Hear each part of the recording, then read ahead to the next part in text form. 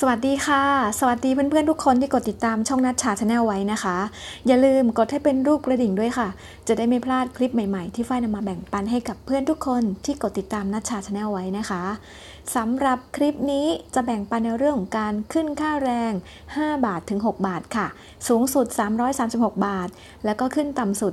313 บาทนะคะ ซึ่งจะมีผลในวันที่ 1 มกราคม 63 เป็นต้นไปค่ะ และที่สำคัญนะคะสำหรับกลุ่มการขึ้นค่าแรง6 บาท ก็จะมีอยู่ 9 จังหวัดนี้เท่านั้นนะคะ นี่นะชนบุรีภูเก็ต ปราจีนบุรี กรุงเทพนครปฐมนนทบุรีปทุมธานี สมุทรปราการ และสมุทรสาครค่ะ และอีก 68 จังหวัดก็ปรับขึ้น 5 บาทนะคะ โอเค เรามาดูรายละเอียดกันบ้างค่ะ เมื่อปรับขึ้นแล้วเนี่ยค่าจ้างจะอยู่ที่วันละกี่บาทนะคะ ซึ่งเป็นข้อมูลดีๆ จากเพจไทยคู่ฟ้าจากทางรัฐบาลนั่นเองค่ะ เป็นข่าวดีสำหรับคนแรงงาน ซึ่งคณะรัฐมนตรีเห็นชอบการปรับขึ้นค่าอัตราค่าจ้างขั้นต่ำ10 ระดับด้วยกันนะคะ โดยสูงสุดอยู่ที่ 336 บาทต่อวัน ต่ำสุด ก็ 313 บาทต่อวัน มีผลบังคับใช้วันที่ 1 มกราคม 63 เป็นต้นไปนะคะ ประกอบไปด้วย จังหวัดชนบุรีและภูเก็ต ค่าจ้าง 336 บาทต่อวันนะคะ จังหวัดระยอง ค่าจ้าง 335 บาทต่อวันค่ะ กรุงเทพมหานคร นครปฐม นนทบุรี ปทุมธานี สมุทรปราการ และสมุทรสาคร ค่าจ้าง 331 บาทต่อวัน ส่วนจังหวัดชาเชิงเซาค่าจ้าง 330 บาทต่อวันค่ะ จังหวัดกระบี่ขอนแก่น เชียงใหม่ ตราด นครราชสีมา พระนครศรีอยุธยา พังงาลบบุรี สงขลาสระบุรี สุพรรณบุรี สุราษฎร์ธานีหนองคาย และอุบลราชธานี ค่าจ้างเท่ากัน ก็คือ 325 บาทต่อวันนะคะ อะ มาดูค่ะ จังหวัดปราจีนบุรี ค่าจ้าง 324 บาทต่อวัน จังหวัดกาฬสินธุ์จันทบุรี นครนายก มุกดาหาร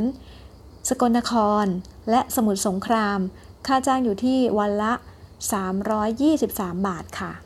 อะถัดมาค่ะ มาดูจังหวัดกาญจนบุรี ชัยนาท นครพนม นครสวรรค์น่านบึงกาฬบุรีรัมย์ประจวบคีรีขันธ์พัทลุง พิษณุโลก เพชรบุรี เพชรบูรณ์ พะเยา ยะโสธร ร้อยเอ็ด เลย สะแก้ว สุรินทร์อ่างทอง อุดรธานี และอุตรดิตถ์ ค่าจ้างอยู่ที่วันละ 320 บาทนะคะ ส่วนกำแพงเพชร ชัยภูมิ ชุมพร เชียงราย ตรัง ตาก นครศรีธรรมราช พิจิตร แพร่ มหาสารคาม แม่ฮ่องสอน ระนอง ราชบุรี ลำปาง ลำพูน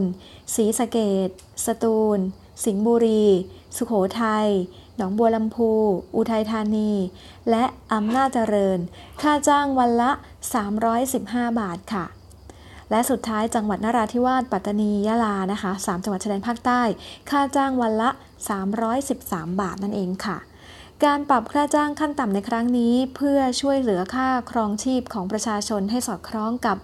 การเจริญเติบโตทางเศรษฐกิจ และก็รวมถึงการเพิ่มขีดความสามารถในการแข่งขันของประเทศอีกด้วยนะคะ ซึ่งก็ใครอยู่จังหวัดไหนแล้วก็ค่าแรงเท่าไหร่ที่มีการได้ปรับเพิ่มขึ้น ก็สามารถดูได้นะคะ จากคลิปนี้นั่นเองค่ะ ก็ขอแสดงความยินดีด้วยกับ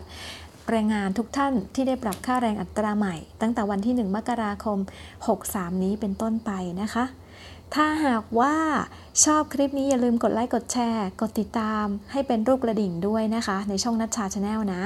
และที่สำคัญจะได้ไม่พลาดคลิปใหม่ ๆ ที่ฝ้ายนำมาแบ่งปันให้กับเพื่อนๆทุกคน ที่กดติดตามช่อง Natcha Channel ไว้นะคะ แล้วพบกันใหม่ในคลิปหน้านะคะบ๊ายบายค่ะ